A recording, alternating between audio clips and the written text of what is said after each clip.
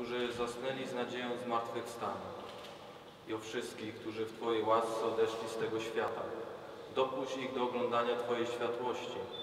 Prosimy Cię, zmiłuj się nad nami wszystkimi i daj nam udział w życiu wiecznym z Najświętszą Bogu Rodzicą, Dziewicą Maryją, ze świętym Józefem, jej oblubieńcem, ze świętymi apostołami i wszystkimi świętymi, którzy w ciągu wieków podobali się Tobie, abyśmy z nimi wychwalali Ciebie przez Twojego Syna, Jezusa Chrystusa.